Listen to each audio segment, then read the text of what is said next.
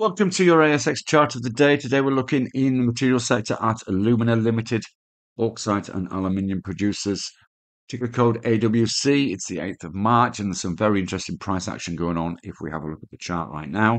And you can see here, if we look at the longer term chart, we've hit a resistance at around about 115 back in January. Tested this a couple of times during the month, and we moved back up to it on high volume yesterday. Today we've got that breakout it looks significant. We're up to 121 currently in the trading day, and you can see there there's this level of interest at around about 134. That's around about a 10% move to the upside from where we're trading today. So certainly looks worth keeping on your radar for the day, perhaps seeing where it closes in the last hour, at which point you can make a decision as to whether it's for you or not. Trade safe and see you again soon. Bye bye for now.